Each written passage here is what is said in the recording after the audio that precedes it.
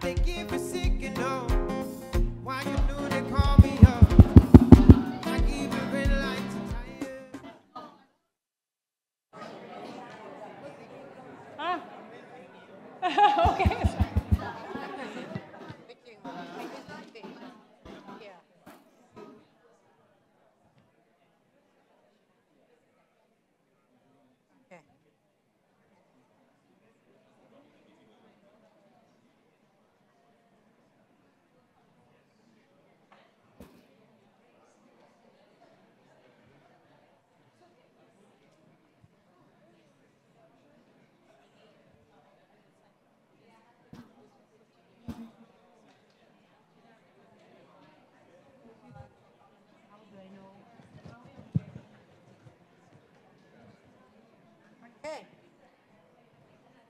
Afternoon, ladies and gentlemen. Um, let's settle down so that we can start um, session three. Um, thank you very much for joining our session. Uh, my name is Siziwe Ngcwabe. I'm going to be sharing this session. Um, so we're really um, excited to have this session today. I'm sure you from the previous speaker, I think this is sort of a build-up to show that you know, what a better way to celebrate the AEN as they turn 11 years this sort of um, unpack and understand why relationships are important. And I think also, before we begin uh, this uh, session, I just want to highlight a few things. Um, evidence and evaluations um, in Africa need to have a gender and equity lens, because that is really important. And also, we have a few uh, female leaders um, that are going to be speaking to us uh, during this session. This is an all-female um, panel of amazing individuals experienced and in the idea. And also, um, women's voices often are go unheard or under, you know, valued in terms of the opinions that they, they share. And now these panelists, because they are established and have experience and expertise, so I hope you're looking forward to the discussions that we are going to have with them this afternoon.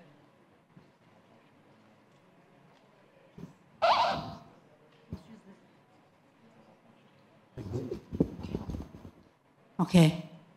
Sorry, there's a malfunction with this one. so I take it out so that it doesn't disturb my, my groove. Okay, um, for this session, uh, because it's a celebration for the Africa Evidence Network and why relationships matter, we are going to take this opportunity um, to share an eight minutes video with you of the journey of the AEN. So enjoy um, this video before we delve into the discussions that brought us together with this panel.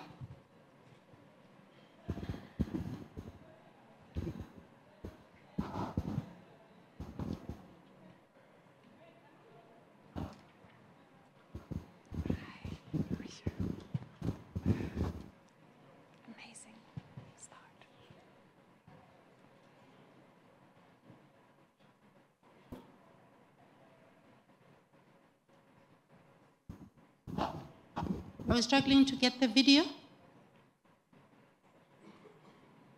Okay.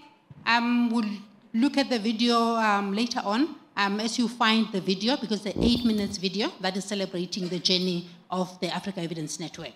Without wasting any time, um, I would like to, I'm not going to use the traditional way of doing things, reading my panelists' bio.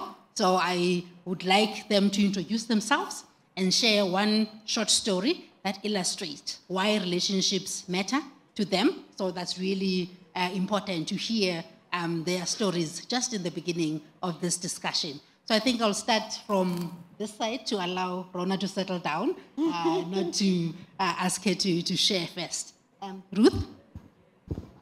Thank you very much, Siziwe, and congratulations to Rhona. Take a breath. I'm sharing the stage with some of my heroes today, and it's such a privilege. My name's Ruth Stewart. Um, I had the good luck of being at the very first gathering of the Africa Evidence Network 11 years ago. And I wanted to tell you a story about climbing trees. Did anyone else climb trees when they were children? Oh, yeah, people are nodding here. I had a favorite mango tree and a favorite branch at the top, and none of my siblings or friends were allowed on that branch. And I thought I was very clever because I could climb to the highest branch and nobody else could get higher than me. But I realized after a while that climbing to the highest branch on the tree was a bit lonely. and my sisters and all the other neighborhood friends would have cookies and sweets and juice at the bottom of the tree. And I would try and persuade them to throw me a snack, but I wasn't willing to give up my branch at the top of the tree. And I would go to bed sulking. and fast forward 20 years, and I started to slip into that same error in the early stages of my career. I thought I was really clever. I had a degree from a really fancy university, and I thought I knew everything. I could climb to the top of my tree and be brilliant.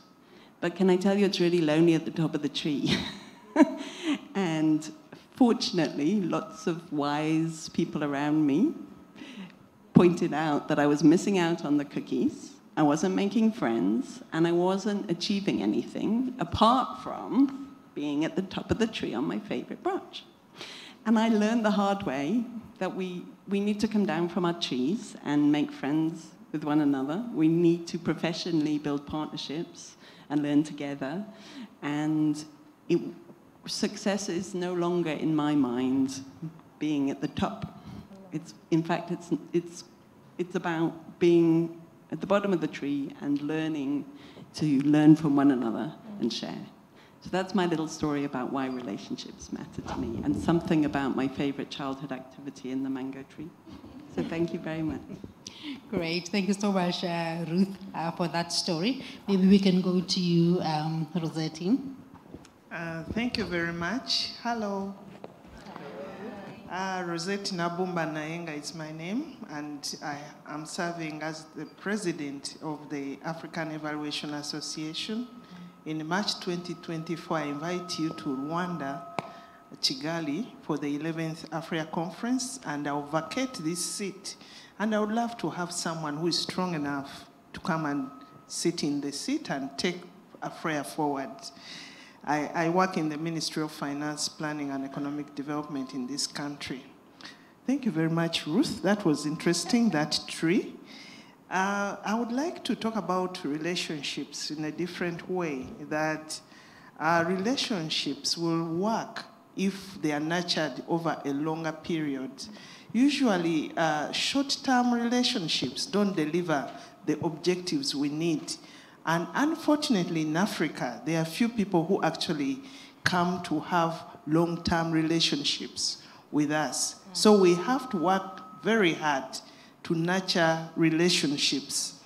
And uh, before we go to look for partners outside, I think relationships starts building starts internally. If you are not at peace in an organization, you cannot deliver. So where I'm sitting in Afrea, if my board is not working and my secretariat is not working, if the relationship is not good, you cannot actually convince anyone else to partner with you from the outside. So it starts with that, and it requires that as we start on the journey of uh, partnership, we must have strong commitment of the leaders that choose to actually uh, be part of the organizations. I want to also mention that, uh, and, and, and bring my short story, uh, that um, these relationships require core values of trust, mm. respect for one another, stewardship, good stewardship of resources, and acceptance of uh, rewards and liabilities. And I'll give you an example. Uh, in, in Afrea, uh, in 2017, Adeline, and I'm glad she was here, was the president then. And she brokered uh, this relationship with the uh, United States Department of States, the, uh, the Bureau of Democracy. And we got this project, which was about $500,000. And we are supposed to uh, deliver research made in Africa in five countries. I took that on and we were only able to do two because the packaging was not right uh, of this project. And, uh, but the USDS recognized the importance of uh, um, our relations and said, please use the money to do what you actually want to do. So because of trust and respect, we have done other things. And now we have brokered a second relationship with the American Evaluation Association. So thank you very much. Um, thank you very much, um, Rosetti, uh, for giving us that uh, bit of background and your story. Um, Marie, your story. Thank you. And just checking, is this on? Do you hear me fine? Yes, okay, excellent. Um, so let me start by saying um, what an honor it is to be on this panel with such amazing leaders in the evidence to policy space. And I'd say it's not a coincidence. Uh, it is because I know, and 3IE knows several of the panelists from before, and that we're part of a network that can be traced back 15 years to people, to events. Um, so thank you uh, for inviting me. Um, I'd also like to reflect and take a moment uh, to reflect on what the COVID experience meant for relationships and partnerships. Um, and you know, while the urgency of the situation led to some swift formation of new partnerships, evidence alliances, and the like, I think many of us felt that it became harder to expand our networks, maybe also even to retain the networks uh, that we had. Um, and, so, and for many of you, uh, I think there are quite a few young fa new faces uh, in the room, uh, and you may have started your professional lives during this time. Um, and you must have felt this issue the most acutely. And so I'm really hoping that you'll take this moment, uh, being many of us in person and missing some of you online, but uh, really to sort of help, um, you know, and build those networks. They're so important. Um, so I didn't say who I was. My name is Marie Gaarder. Uh, I'm the executive director for 3IE and also uh, co-chair for the International Development Coordinating Group of the Campbell collaboration. Um, but right now, and we'll talk more about that later, right now I just want to say more like who am I as a person? And I would say two things. I'm an introvert and an impatient, impatient woman. and uh, I have a passion. I have a passion for improving evidence use in development. Um, and I have had to learn, and I'm continuing to learn lessons, some of it very much the hard way, about relationships in order actually to be able to fulfill my and my organization's uh, you know, uh, mission. Um, and so let me mention just three lessons or sort of insights I have uh, come to. Uh, and please do laugh at all of them. Uh, I, have been very, very ignorant. Um, so I sincerely thought for the longest time that evidence speaks for itself and that who delivers it should not matter. Um, and you will have, we've had a nice session already talking about how that is terribly wrong, probably. Um, and, you know, I thought that when people got to hear this clear evidence of, and they would just know what to do, they would run with it, and they would, you know, we would all be uh, uh, trying to improve the world with this evidence. Um, now, how wrong could I be, right? Yeah. And of course, the extent to which disinformation has taken a hold in societies through social media should be, of course, a wake up call. Um, so the reality is this the messenger matters, the delivery matters, relationships matter, and of course, incentives matter. And so, in order to increase your chance of contributing uh, to you know, you basically need to, cha- to use all those and pull all those levers uh, through partnerships. The other thing I thought when I was younger is that being right was important, and also letting others know I was right. Uh, again, I've learned my lesson, and I didn't find an African proverb, but I found another uh, nice saying. Um, that goes like this Immature people always want to win an argument, even at the cost of a relationship. Mm. And mature people understand that it's always better to lose an argument and win a relationship. And finally, I also thought, naively, that asking for ad- advice was a sign of weakness. And in fact, uh, and there's now ample scientific evidence to show this, people get happy when they get to give, not when they take. Um, and so some of the best relationships uh, I built during the years are those where I have asked for favors, where I've asked for advice, asked for inputs. Um, and it's also some of the best advice and inputs I have gotten. Um, and in fact, a manager colleague of mine uh, at the World Bank at some point actually summed it up in one sentence. Just remember, Marie, everyone wants to be needed and loved. Yeah. And it's amazing uh, advice that I've taken with me. So to sum this up, uh, the lessons that I've learned is, is really the importance of investing in relationships, both as important in order to be happy and, and function as a human, but also in order to actually achieve what we all are trying to achieve together. Thank you. Thank, thank you very much. Um, let's go over to Rhona to share her story um, about why relationships matter and introduce herself again. But I think um, everyone uh, knows her already, but just to reintroduce yourself again. Um, I don't think this is working. No. Can you hear me now? I'll just use that for a bit as I get sorted. Thank you very much. Uh, my name is Rhona Mijumbi. I wear so many hats, uh, but I think what is really relevant for today, uh, I am the founding director at the Center for Rapid Evidence Synthesis, which we mentioned earlier as your local host, and make use of them. Uh, they are dressed a certain way, you see them. Make use of them. Um, I also work with the Liverpool School of Tropical Medicine and uh, with their affiliate, the Malawi Liverpool Wellcome Program in Blantyre, Malawi, heading the policy unit. And I was also very, very um, privileged uh, to take over from Ruth, working alongside um, Siziwe as the co-chair, uh, as the current co-chair of the AEN.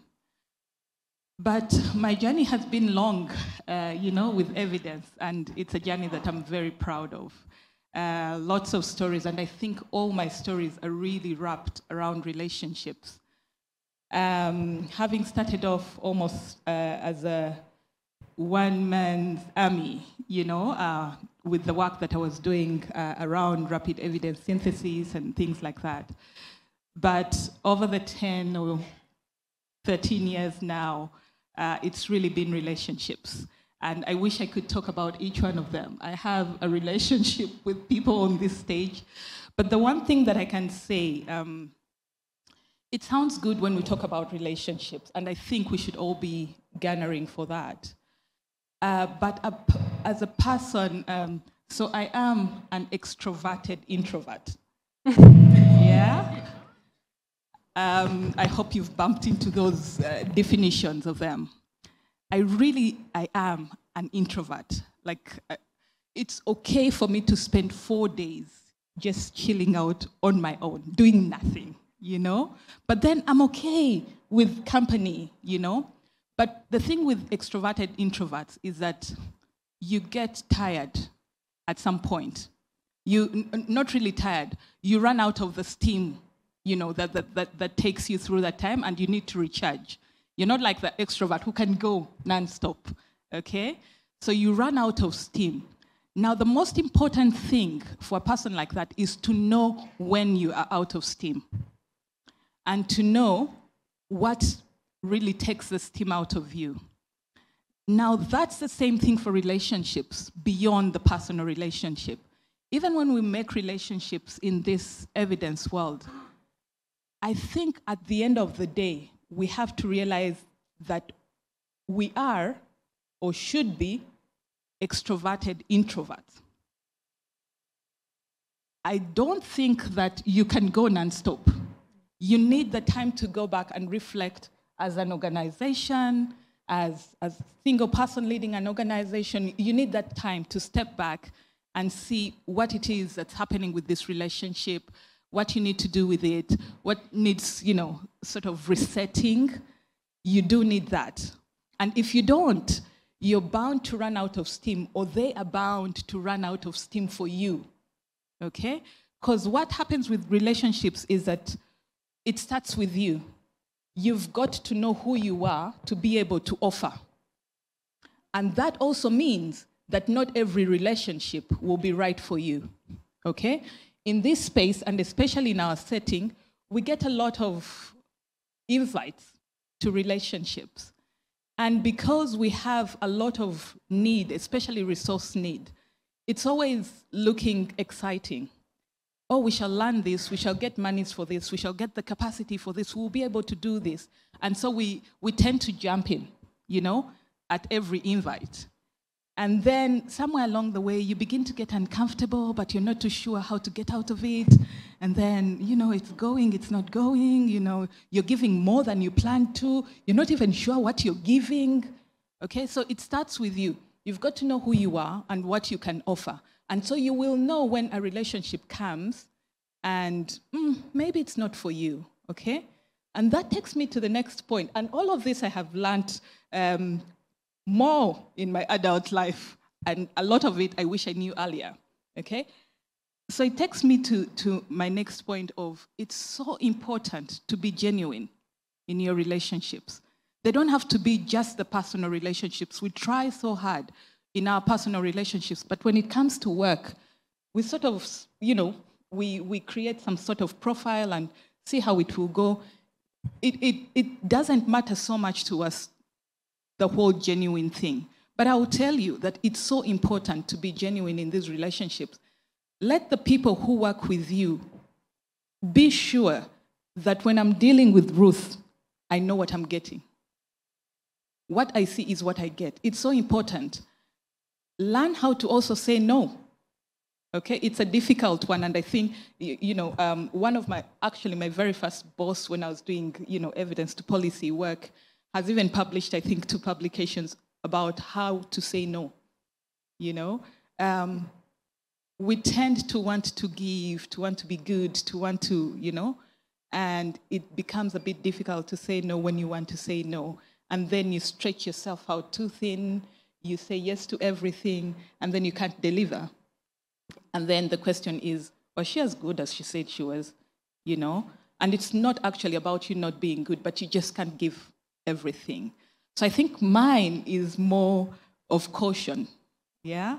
Um, and also to say you've got to be in the right place before you get into a relationship. And that right place means knowing yourself and being ready um, with what you can offer and also knowing what you can't offer.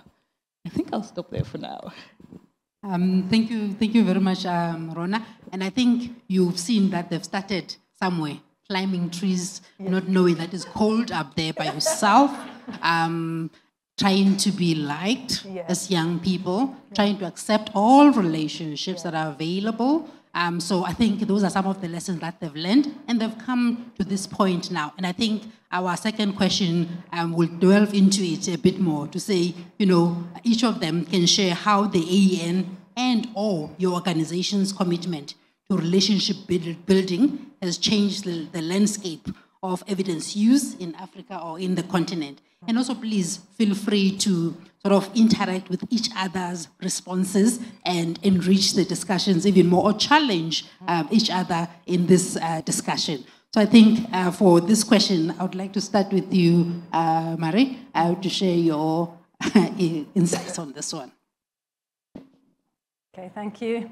Um, so 3IE as an organization has always been what I would call a connector or a network weaver. I was thinking of spider, but that sounds negative, so I'm not going to go there. Um, in the early days, when we were, you know, we were more of a grants management organization, uh, especially in the impact evaluation space. And what we would do then was to connect grantees with funders, policymakers with researchers, um, funders with funders. Um, in fact, one of our earliest policy windows uh, in which we connected important government programs that needed evaluation with researchers and evaluators was here in Uganda um, in collaboration with the, the Office of the Prime Minister. Um, 15 years on, so this was 15 years ago, 50 years on, we continue to be a connector, uh, and we benefit from those 15 years of uh, having created and learned from and built networks. However, the landscape has uh, changed, uh, and so has 3IE's approach. Um, so we now have a much more what they call a holistic approach in which we work with governments and development institutions very much as a, as a long-term partner to help them meet their evidence needs and to support them on their journeys to institutionalize evidence use in their institutions. Um, and we do so explicitly through partnerships in all our programs. And we are very clear now about the fact that we do not have all the required skill sets in all the approaches that may be required. We also do not have the right networks, the right uh, contextualized understanding, uh, and that we can and have to and should draw upon all our partnerships. And so we are committed to making strong complementary partnerships, basically our way of working. Um, now, 3IE has been associated with uh, Africa Evidence Network since its inception, we're proud to say. Mm -hmm. um, the network was founded uh, in 3IE's Colloquium of Systematic Reviews in, uh, in International Development in Dhaka, Bangladesh, um, in December 2012. So 3IE played a role in the birth of this uh, amazing and important network. Um, but you know, at the time, there was no other network explicitly focusing on EIDM, which you've all heard today what it means several times in the intro. And so congratulations to Ruth again for having had the vision to create this and the stamina to, to get to where we are today. It's fantastic. Um, 3IE is also partnered earlier on with AFREA. Uh, our inaugural uh, conference had 700 uh, uh, attendees in 20, uh, 2009 in Cairo. Um, and at that time, what I recall, it was that the, the, discussion and the landscape was very different. It was very polarized. Um, there was sort of almost a methods war uh, out there. and, and a lot of straw men being thrown to, out into the discussions. And, and so I would say this has fortunately changed over time. I think the field, we have grown up a bit. Uh, I love, uh, you know, a lot of what Adeline said, that there's still a lot of way to go, but I think we are much more on a mutual listening mode uh, than, we, than we were at the time. Um, a key topic that we brought to uh, and learned more about in subsequent AEN conferences, we've been to all of them ever since uh, the creation of the network. We delved into this issue of uptake and use of research evidence uh, and, uh, and, and, you know, and the importance of networks uh, to, to, and incentives to, to, to really uh, drive this forward. Um, and so 3IE has developed tools, among others, to verify claims about research influence. Um, these are called contribution tracing, uh, and we've started assembling uh, these veri verified evidence use stories in a portal. And so I'd like uh, for my colleagues, Durgadas and Tanvi, to stand up, uh, just so people who want to know more about the, this can uh, go and talk to them, and they can show you the portal. Thank you. Um, now, one of the lessons we have learned uh, is that decision makers and evaluators do not always know what evidence they need to inform what decisions. Um, and, and, and we can talk about evidence in mm. abstract, but very different types of evidence are needed for different decision points. And so one of the things we have uh, developed recently, as you know, come out of these discussions we've had, among others, at, at AN conferences and other places, is a tool, a sort of a menu of services that tells you sort of is focused on questions, and then for this question, here's the kind of method you would need. Mm -hmm. uh, mm-hmm. and and, and they, this is the, would be the source of a of a possible source of evidence. And so uh, this tool, the uh, menu of services, uh, is, is something that, uh, that we think will be uh, useful. And I'd like my colleague Thomas Kelly, who is, could you stand up so people can see you? Um, he joined us recently as Director of Evidence to Policy and Learning. Uh, and he can tell you more about uh, this tool and, and, how to find it. I think there's a, there's a QR code somewhere. Uh, Um, and then He's showing something. 3IE is also known, I hope some of you, many of you have heard about our evidence gap maps, which are in 3IE uh, innovation, an invention really. Um, and, uh, and we've led many sessions at the uh, Africa Evidence Network conferences on how to do, make these and use these, what are they good for. And so I'd like to, uh, again, just showing everybody who my team are so that you know who to reach out to. For Birte Snilstveit and uh, Etienne Mwamba to stand up uh, if you want to sort of know more about anything to do with synthesis and evidence gap maps, including our Africa evidence map, please reach out uh, to them. Um, and over time, these EGMs have been uh, a tool that we have sort of both further developed and this had been taken up by many of you uh, probably in this room. Uh, and, and, and we have sort of learned from your, your use and development again of these maps. So it's sort of like an iterative learning that has been going on over the, over the years. And it's fantastic to see how this, is, this tool has, has been taken up. Um, particularly, we worked a lot with, uh, with ACE and, and more recently SACE uh, in close collaboration uh, um, in, in developing uh, evidence gap maps and other rapid synthesis products. Um, and just to mention a few themes that I think are particularly of relevance to the problems of today that, that we have recently developed maps in. There are now um, uh, evidence maps on things like democratic backsliding, democracy, human rights, governance, disinformation. These are the kind of uh, uh, maps where we draw what do we know from effectiveness and uh, evidence on what works uh, to address these issues and where are the research gaps. Um, through our partnerships with Clear EAA, uh, we assisted the Department of Planning, Monitoring and Evaluation of the Government of South Africa with their national evaluation policy and establishing their impact evaluation guidelines. Um, we've also worked in close uh, partnership with the West African Development Bank, BOAD, on a variety of initiatives uh, and helping them institutionalize the use of evidence. We also have a West Africa capacity building and impact evaluation program, and we have many colleagues that are uh, related to that program here present. It has been supported mainly by the Hewlett Foundation, but also importantly by uh, BOAD itself and also the West Africa and Economic and Monetary Union. And it's uh, a regional initiative that promotes the institutionalization of evaluation in national and local level government systems across eight countries in Francophone West Africa. And um, in WACIE, how we operate is really that uh, the, it is demand driven by policymakers and their advisors. What kind of questions do they have that are urgent, and what can we do to help respond to those quickly, either by rapid evis- evidence synthesis uh, or by evaluations? Um, now, we also, in WACIE, we've also worked closely with ASED. I believe ASED is also uh, represented here. Uh, and include one of the, some of the things that we've developed in partnership are easy to use guide on using evidence for decision makers at various stages of a project. Um, now, so basically, to sum up, 3IE has been able to contribute to and benefit from a much richer and professionalized evaluation and evidence broker network in Africa.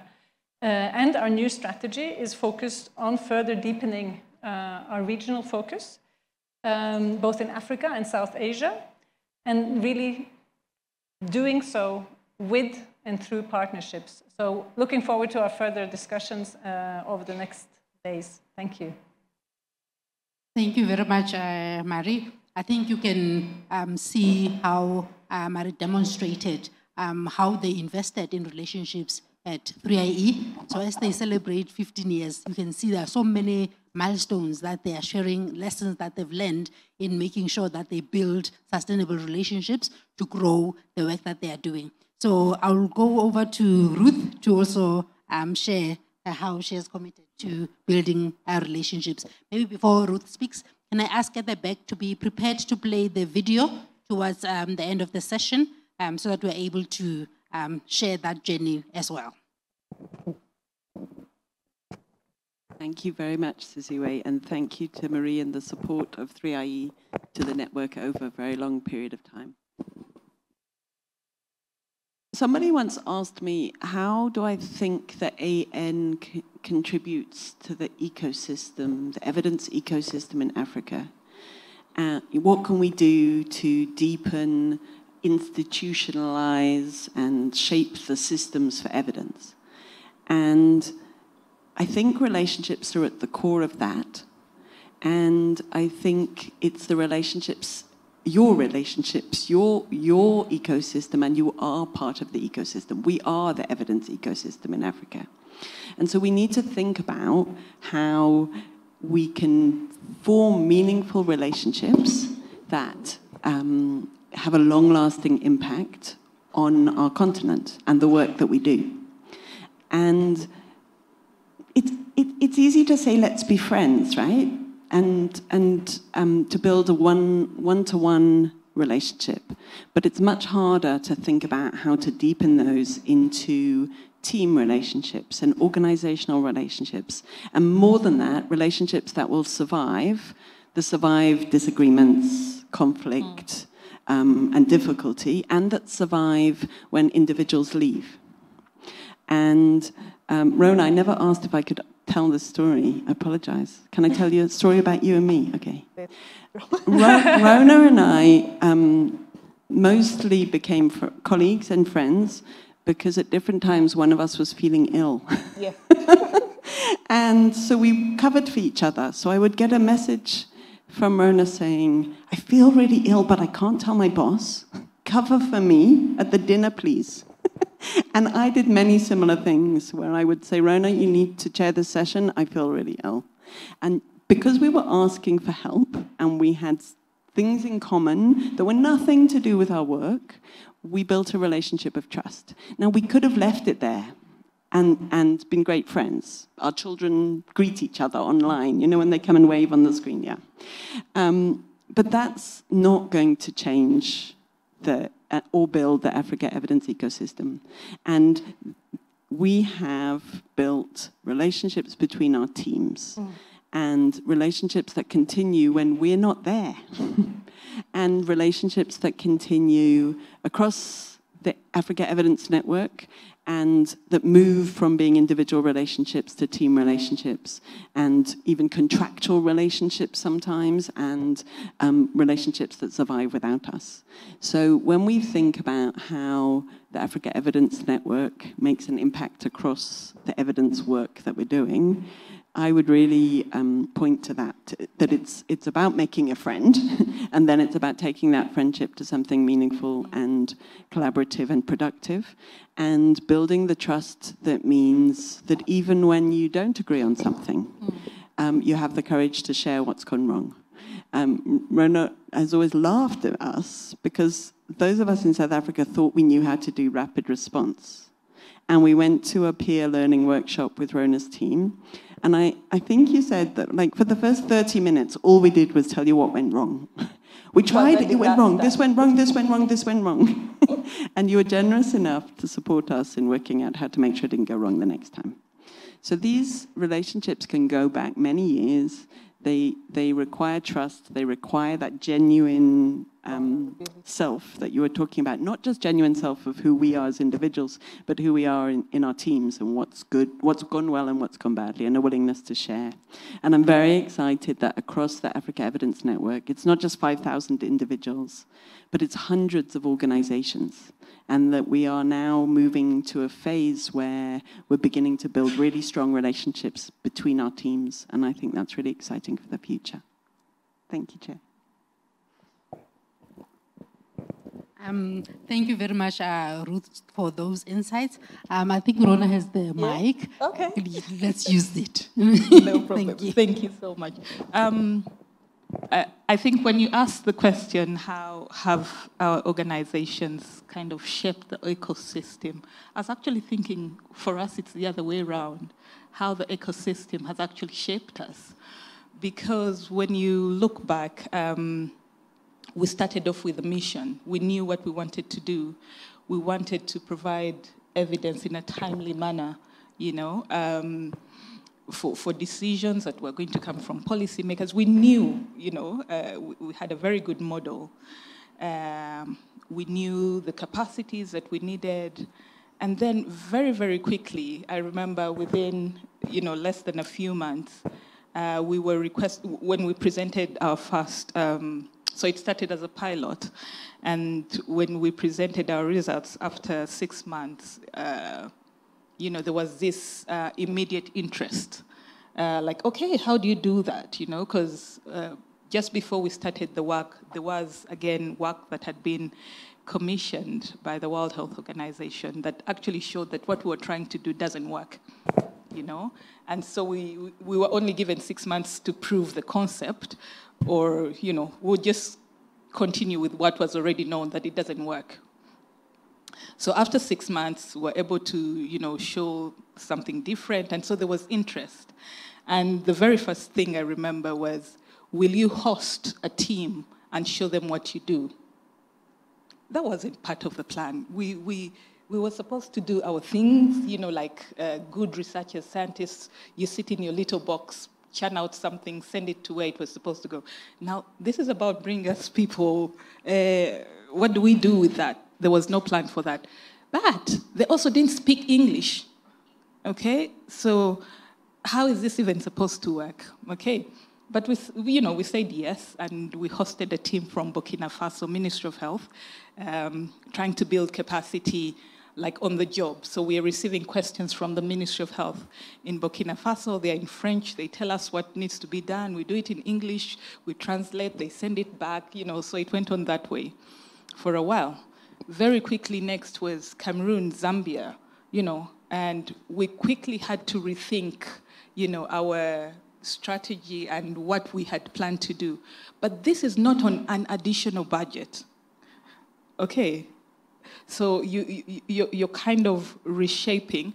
And again, you, you have the choice of saying, I don't have a budget for it, you know, so we can't do it. Or we don't speak English, so we're not too sure how we're going to take care of these people who are coming. So you have those choices.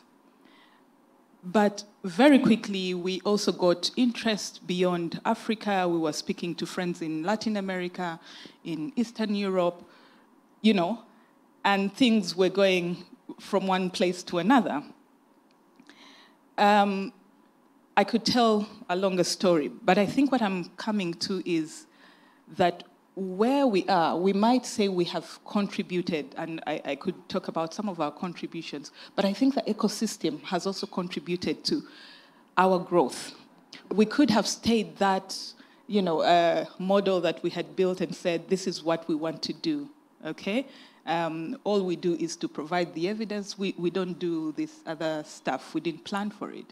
But I think the ecosystem has shaped us to actually realize where the need is. So the need was, yes, with the policymakers, they need evidence. The evidence is not coming through as fast. But we also realize the need for the capacities to do this. And if we choose to run the rest alone, and we have colleagues who would like to do this, but we don't have space for them, we could have stayed, you know, that same person or that same group, that same model, and I guess we would still have had work to do. But the ecosystem has shown us what is valuable, and I think looking back now, we appreciate who we are, you know. We've formulated lots of relationships out of stuff like that, lots and lots of relationships, which we have gained from as well. I could walk into Burkina Faso now, and my room, I do have a room at the Ministry of Health, you know, um, just out of a relationship like that. Um, I think I could get citizenship very easily in South Africa. Yeah? Am I stretching it a little too? Yeah? But, but I think there's lots of stuff that we have gained as an organization, lots of relationships that we are riding on to build our own capacity. Um, and so the ecosystem has shaped us as well. But we have also um, maybe what we have come with then to the field is a lot of um, lesson sharing uh, and building capacity and you know innovating or putting our foot out where everybody thinks oh, are you sure of what you're doing? You know we've been brave enough to put our foot out there not once not twice and tested a few things And then these have become a model that people have, um, you know, gone out, modified in their own way, but at least it proves the concept and people are able to go out there and, and, and start on that. Uh, lots of work around rapid evidence synthesis, lots of work around citizen panels, uh, lots of work around pictorial evidence, you know, for, for um, call them? Uh, unempowered populations. Okay, so a lot of the evidence synthesis has depended on people being able to read and write. And you know, there's that gap in what do you do with people who have to make decisions, but they can't read your nice synthesis, they can't read your policy briefs, but they also, you know, are unable to come and interact, you know, in dialogues or, or panels. Um, so testing out with uh, pictorial evidence. And so we have brought that, and people have, you know, picked up the model, tested it, come back, critiqued what we have done, but very friendly critiquing that has helped us also build ourselves and done um, um, a really good job.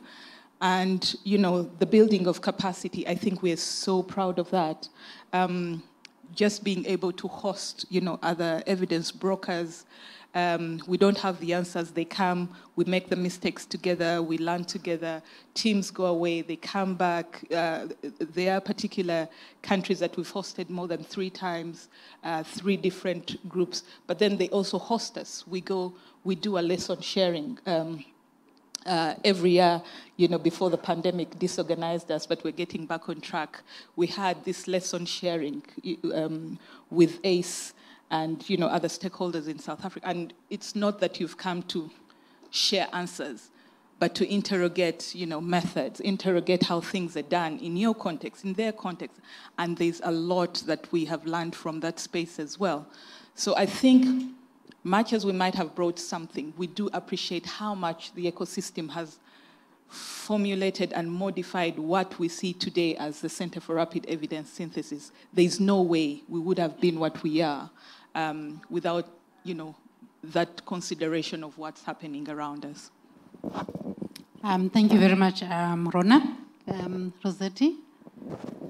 Uh, thank you very much, Rhona. You said it's difficult, uh, rather to sometimes not every relationship yes. is ours. Yes. We should say no. Sometimes you are in a tight corner and you have nothing to start with, but you need work to be done. Mm-hmm. And therefore, sometimes uh, what we do is to make sure that you look for the good in a partner and in a relationship. What is good inside there? Because sometimes we've met instances where when you say no to one relationship, uh, the, the noise goes and ripple. everybody says, she said no, don't go there. So everybody says no, and then you have nobody to work with. So in brand development, sometimes we have to weigh the options, but that was a very good idea. And on this question about what footprint, we are glad as AFREA, and I'm glad this morning the presentation which was given by Adeline underlined the work that AFREA has been working on around Made in Africa, uh, making sure we remove this Korean, that word is so hard, uh, but you know it, you have understood the one we are discussing this morning.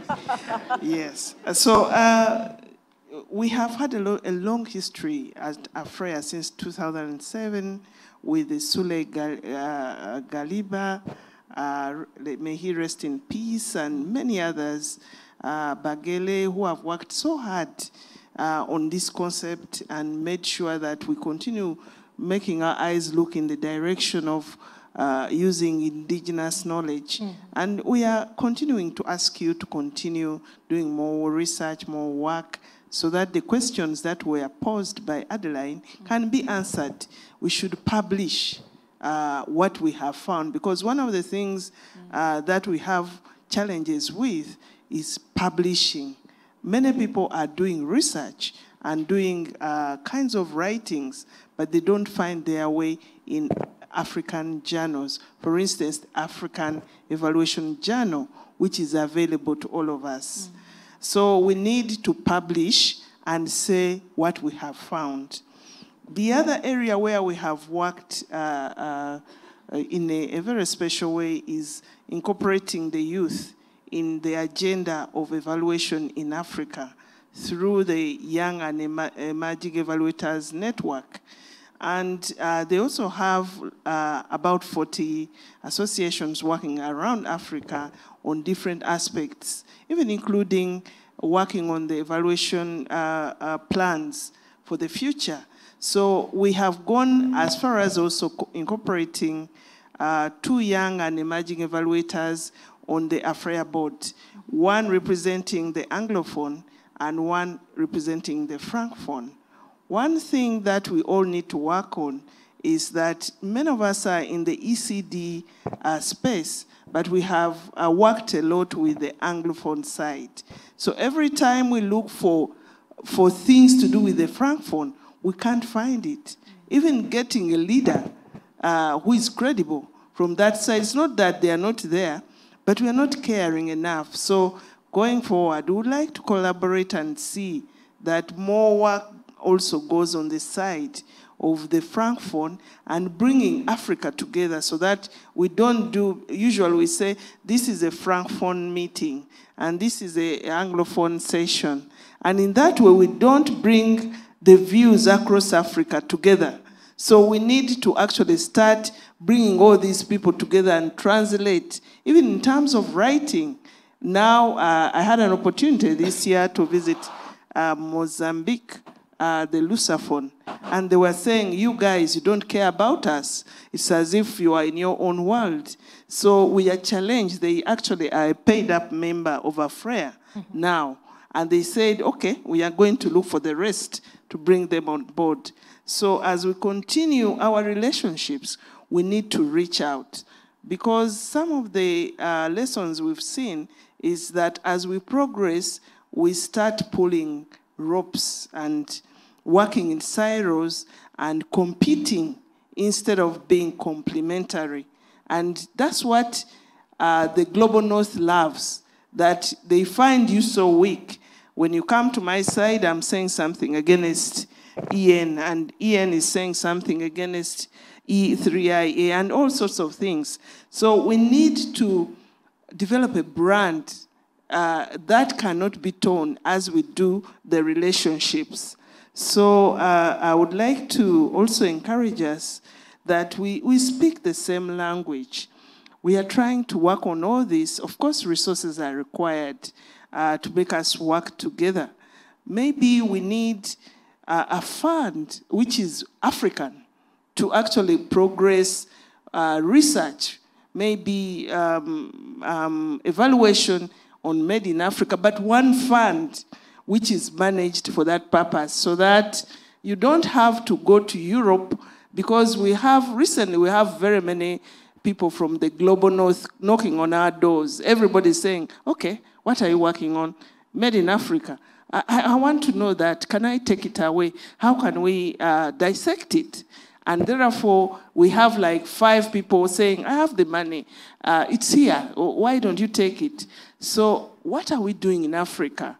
Why don't we pool resources and choose the agenda we want to work on, and we all work in the same direction and also fulfilling the 2063 agenda? Thank you, Chair.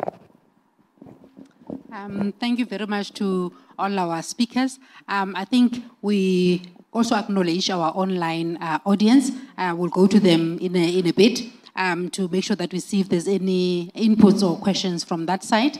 We'll also come to this audience in the room, maybe get two questions, but I think let's do the video because I think it's a, the right time in terms of us, these the three, four organizations sitting here that have more than 10 years experience in building relationships and making a difference in the landscape and in the E EIDM to also take time to share um, the journey of the AEN.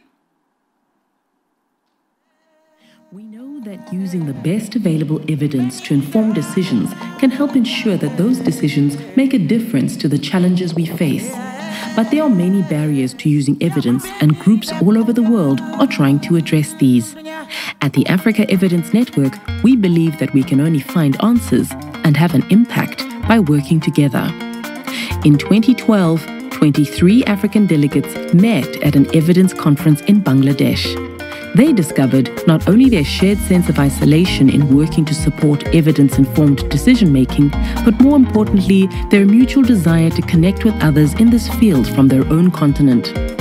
The network's founding chair, Ruth Stewart, described the energy when these delegates recognized that together they could achieve more than they ever would achieve alone. Their agreement to share training opportunities and collaborate on funding proposals began before the delegates had even returned home. From the start, the network's impact was achieved through connections.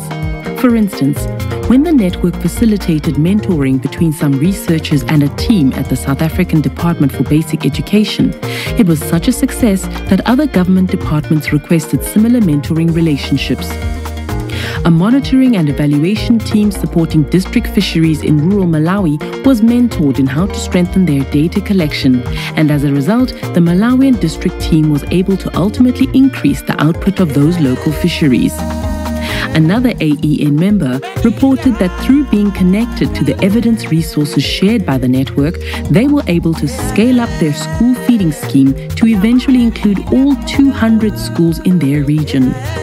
In 2014, the Africa Evidence Network held its first Pan African Evidence event. Over 100 delegates attended from 10 African countries. That meeting would prove central to ensuring the work that had started in Bangladesh was sustained. Members described how incredible it felt to receive encouragement from others working in this field a mere two years after the AEN had been formally established. From across Africa, stories were shared about how evidence was needed and being used. Government colleagues made it clear that supporting evidence into policy is not an easy task. The relationships are sensitive and need serious investment to build working partnerships that span long established divides. Still, the work continued, and by mid 2015, the AEN had 350 network members and organic engagement on its digital platforms growing every month. And the network started getting noticed by others outside of Africa. You wanted to work in the evidence space in Africa? The AEN became the go to community, and colleagues from around the world in governments, NGOs, and universities started to reach out. Our biennial events became well established, more innovative, and continuously better at showcasing how the African evidence community was pushing the boundaries in this field. By 2016, the network was actively encouraging and promoting evidence informed decision making across Africa, contributing to the development of effective public policies and efficient implementation of services. Our focus was on joint learning to support one another to use evidence to tackle poverty and equality.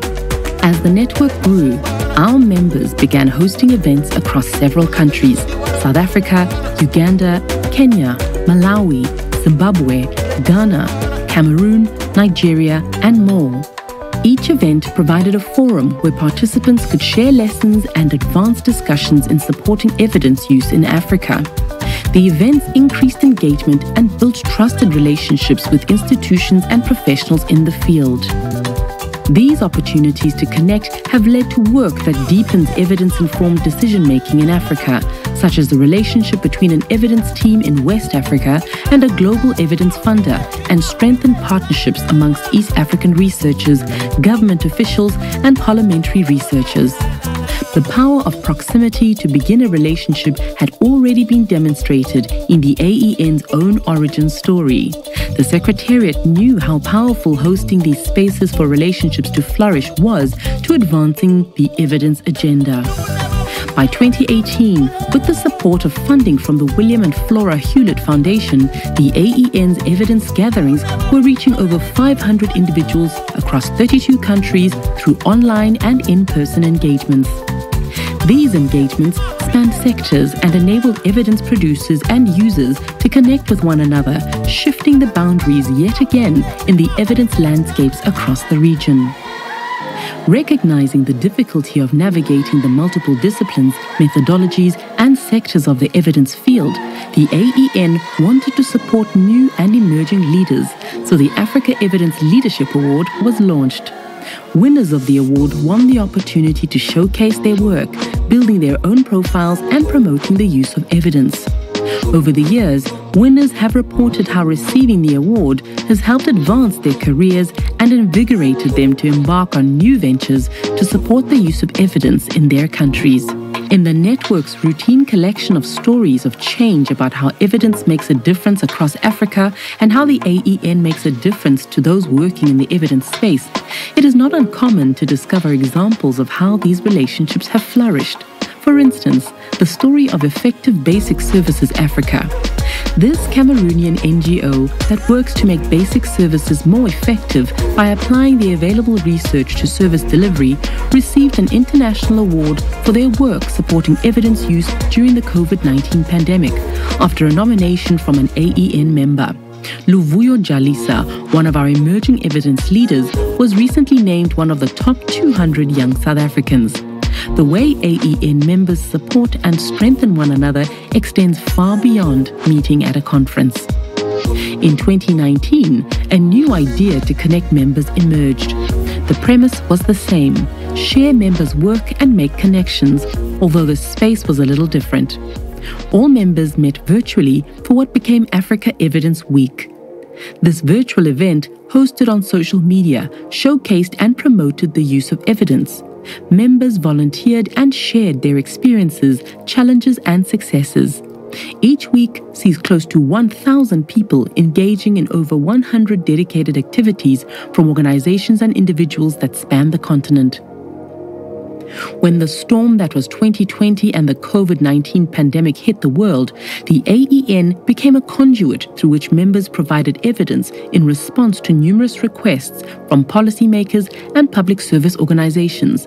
And that year, our evidence event went fully online with over 600 people from 44 countries joining a fully interactive and learning experience.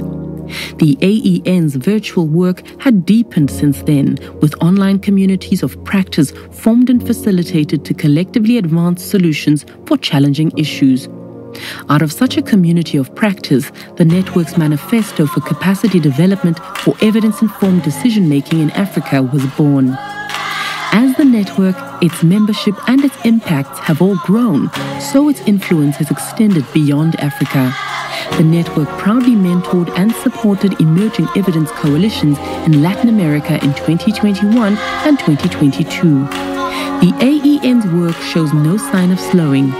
In 2023, the network launched an evidence podcast where new topics are explored with a range of contributors and the newly launched Africa Evidence Youth League is stimulating, innovating, and breaking new ground. New communities of practice are formed as members gather online to explore solutions to how to meaningfully expand the ways in which evidence is valued, to embrace forms of knowledge often overlooked, and to ensure localization of evidence use is meaningful and long lasting. 2022 marked a decade since the 23 delegates from Africa met at that evidence conference in Bangladesh. Those first members could never have known that their meeting would result in a network of nearly 5,000 people. As evidence informed policy in Africa continues to thrive, so too does this network where you can connect with others also looking to make a difference. Although we do not know what the future will bring, we do know that only together will evidence informed decision making become a reality.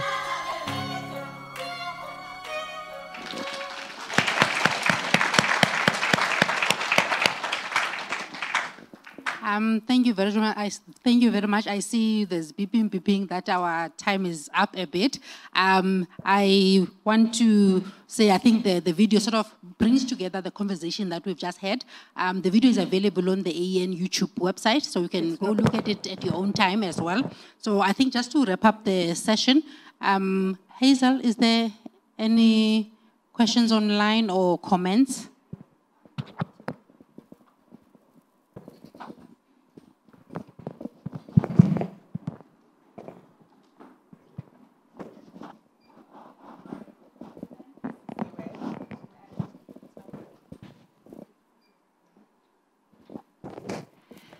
Thank you, Siziwe, and thank you to this interesting panel.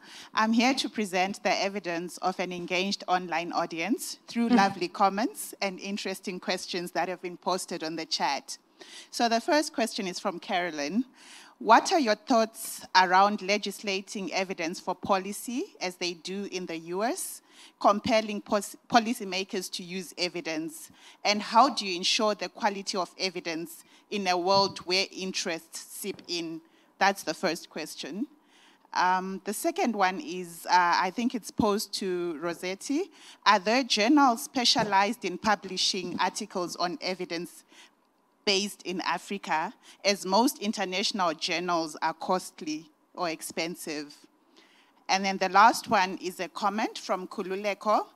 Thank you. Four extremely beautiful journeys in your experience, how do we sustain relationships between organizations when leadership visions and approaches change over time?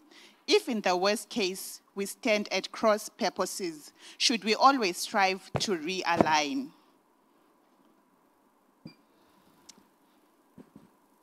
Thank you.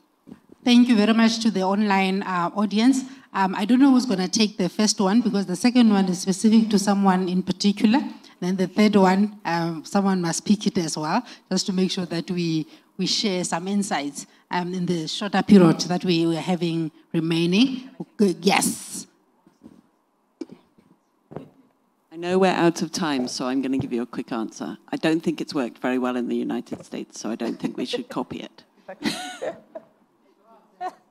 Uh, thank you very much. Uh, I work in, in, in, in a public sector and uh, compelling policymakers does not work very well. Uh, they choose, the, the evidence varies across spectrum and they will choose what they want to use and from where. And most cases, they will choose what has been researched in public sector itself, not from everywhere. Now, uh, the, uh, the publishing, uh, we have the African Evaluation Journal, which has been around for as many years as almost uh, 20. And uh, uh, there are costs, but they are not very high because we subsidize them.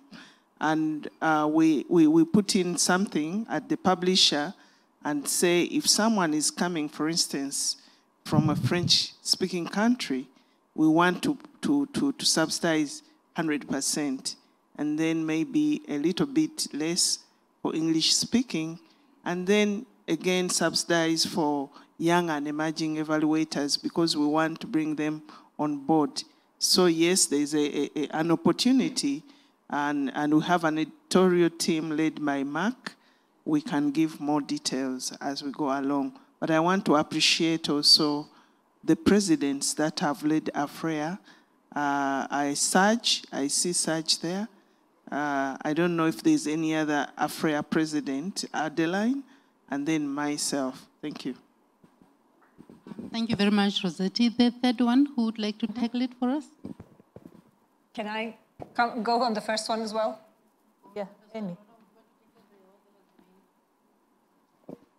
going to take? First of all, just, just briefly to say, because I disagree slightly.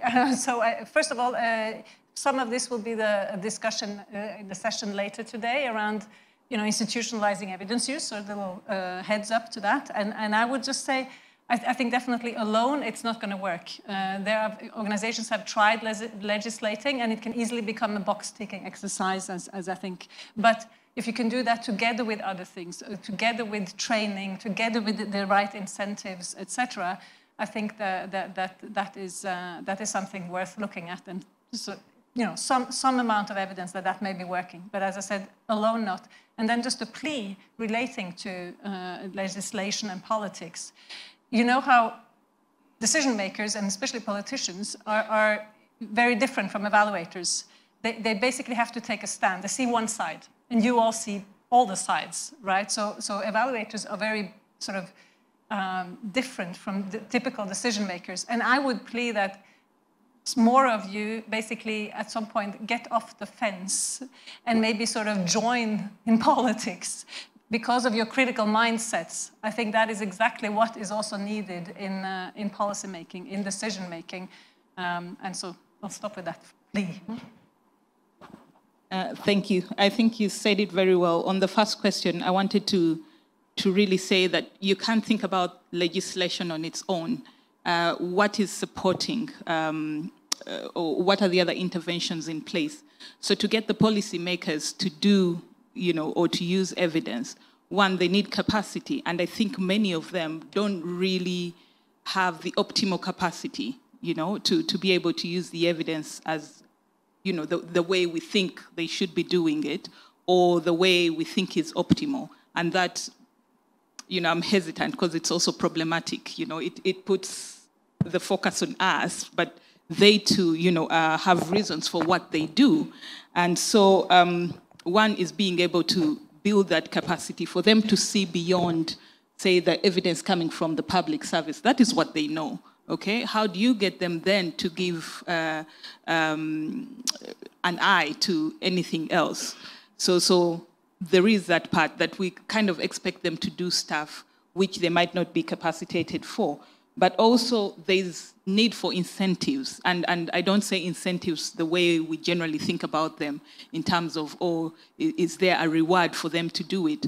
But there also need to be system incentives that sometimes it's actually difficult to, to get to the evidence or to use it or to make sense of it. And so the system needs to have incentives that, that put a policymaker in a place where you know, it's easier for them to use the evidence than to use their gut feeling. And many of the times, you know, you're going to put legislation in place and these incentives are not there and it will still fall flat on its face. Um, how to sustain relationships, you know, in changing organizations, changing, um, um, you know, settings, changing contexts. I think relationships will naturally, some of them will naturally die off, okay? And others will begin to build. And there will be those that are here to last forever, okay? So I think, uh, you know, when you take that time that we talked about, that you step back and always analyze and, and uh, stay in touch with yourself, and you know what's happening around the ecosystem, you will know which or what is happening uh, with which relationship, and you won't really struggle. But that's not to say that uh, you know it all works out. All relationships are hard work. There is work to be put in. So don't get into a relationship, whether it's personal or uh, you know for the organization, and think, okay, eh, we signed that MOU, now we're good. Okay, there'll be work to do. All uh, relationships need nurturing, but that's like, yeah, a story for another day. Thank you very much. Um, um, we've run out of time, really. I think the people that are in person, you have access to these amazing women. So please engage with them and make sure that if you have any question, get them to answer uh, those questions for you. And I think I would like to thank them very much for participating in this panel. And also I would like to encourage women that are attending this event, and particularly um, the young and emerging leaders that are joining us uh, as well, to take time to step up, you know, um, make a difference uh, in terms of the work that we do. And I also want to connect this session. This is women that are experienced. The session 22 on the last day, the session of young and emerging leaders that are going to say, what does the future look like? as driven by us, young and emerging leaders. So please join that session to connect and see how they hand over the baton to them. It is time, right? Yes. Thank you so much, everyone, for joining the session.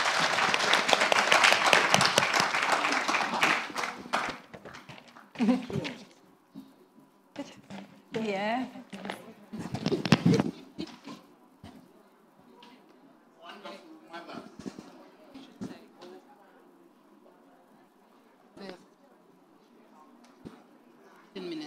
Um, okay, there's a 15 minutes uh, break now, and then the next session will kick in.